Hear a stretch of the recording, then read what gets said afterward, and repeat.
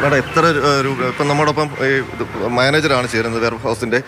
എത്ര രൂപയുടെ നഷ്ടം സംഭവിച്ചു? ഏകദേശം ഒരു കോടി. ഒരു കോടി. എന്തൊക്കെയായിരുന്നു അതിനകത്ത് ഉണ്ടായിരുന്നത്? കെമിക്കൽസ് ആയിരുന്നു ഫുൾ അത് നമ്മളെ കെമിക്കൽ റൂമായിരുന്നു. ബ്ലീച്ചിങ് പൗഡർ പിന്നെ മറ്റുള്ള കെമിക്കൽസ് എല്ലാം. അതായത് ക്ലോറോസൈലിനോ chlorhexidine hand rub calamine lotion പിന്നെ പോവിഡോൺ ഐഡിൻ അങ്ങനത്തെ കെമിക്കൽസ് ആയിരുന്നു മൊത്തം. നമ്മൾ കെമിക്കൽ റൂമാണ്. നമ്മൾ സെപ്പറേറ്റ് കെമിക്കൽ റൂം മെയിൻ ബിൽഡിങ്ങിൽ നിന്ന് ഡിറ്റാച്ച് ചെയ്താണ് വെച്ചിരുന്നത്. എല്ലാ മാനദണ്ഡവും പാലിച്ചിട്ടുണ്ട്. നമ്മൾ കറണ്ട് കണക്ഷൻസ് എല്ലാം നേരത്തെ അതിന്റെ കട്ട് ചെയ്തതാണ് പണ്ടേ അപ്പോൾ അതൊരു സെപ്പറേറ്റ് ഐസൊലേറ്റഡ് ബിൽഡിംഗ് തന്നെയാണ്. അതെങ്ങനെ സംഭവിച്ചു എന്നുള്ളത് എക്സാക്ട്ലി പറയാനാവില്ല ബ്ലീച്ചിങ് പൗഡറിന്റെ ആ ഇതിലായിരുന്നു തീപിടുത്തം ഉണ്ടായത്. അതെ ആ റൂമിലാണ് ബ്ലീച്ചിങ് പൗഡർ ഇരുന്ന റൂമിലാണ് ആദ്യം തീ പിടിച്ചത്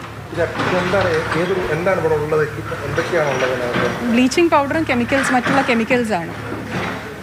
കൂടുതലും washing sodas surgical spirit chloroxylenol chlorhexidine hand rub calamine lotion turpentine liniment അങ്ങനത്തെ കാര്യങ്ങൾ കെമിക്കൽസ് എല്ലാം തീ പിടിക്കാനുള്ള സാധ്യതയുള്ള ഒരു കെട്ടിടമായതുകൊണ്ടാണോ അങ്ങനെ മാറ്റി ഏ, ഏ, അങ്ങനെ അങ്ങനെയല്ല കെമിക്കൽസ് ആയതുകൊണ്ട് മെയിൻ മെഡിസിന്റെ കൂടെ നമ്മൾ വച്ചില്ല എന്നേ ഉള്ളൂ.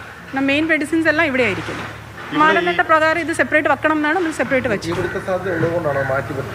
അങ്ങനെയല്ല ഡ്രഗ് ആൻഡ് കോസ്മെറ്റിക് ആക്ട് പ്രകാരം കെമിക്കൽ സെപ്പറേറ്റ് വെക്കണമെന്നാണ് അതുകൊണ്ട് സെപ്പറേറ്റ് വെച്ചിട്ടുണ്ട്. എന്നാലും എന്തായിരിക്കാം ഒരു തീപിടുത്തത്തിന് കാരണം നിങ്ങൾക്ക് മനസ്സിലാകുന്നത് കെമിക്കൽ ആയതുകൊണ്ട് തന്നെ? ഇത് എന്തുവാവാം അത് എക്സാക്ട്ലി പറയാൻ അറിയില്ല. ഇപ്പോൾ ചൂടായിരിക്കാം അല്ലാതെ എന്തും അറിയത്തില്ല. ബ്ലീച്ചിങ് ഒക്കെ ഇങ്ങനെ തീ പിടിക്കും കഴിഞ്ഞ ഇത്രയും വർഷത്തിൽ അങ്ങനെ സംഭവിച്ചിട്ടില്ല. ഇതിപ്പോ എത്ര കാലമായിട്ട് ഈ കെട്ടിടം പ്രവർത്തിക്കുന്നുണ്ട്? പത്ത് വർഷം. പത്ത് വർഷം. ഈ പുറത്തെ കെട്ടിടം? പുറത്ത കെട്ടിടം. ആ കെട്ടിടത്തിന് ഒരു പില്ലർ പോലും ഇല്ല അതുകൊണ്ടാണ് ഫയർഫോഴ്സ് ഉദ്യോഗസ്ഥന്റെ ജീവൻ നഷ്ടമായത്. ഒരു വെറുതെ ഹോളോഗ്രസ് കട്ടകൾ മാത്രം വെച്ചിട്ടൊരു ബിൽഡിംഗ് ആയിരുന്നു അത്. നമ്മൾ റെന്റഡ് ബിൽഡിംഗ് ആണിത്. നമുക്ക് വാടകയ്ക്കുള്ള കെട്ടിടമാണ്. അതെ അതെ കിൻഫ്രയുടെ ബിൽഡിംഗ് ആണ്. ഈ ഇതിൽ എത്ര മരുന്നുണ്ട്? സൂക്ഷിച്ചിട്ടുണ്ട്. ഇതിൽ കൂടുതലും ഐ വി ഫ്ലൂയിഡ്സ് അങ്ങനത്തെ ഐറ്റംസ് ആണ്. അല്ലാതെ സർജിക്കൽ ഐറ്റംസ് ഒക്കെയാണ്.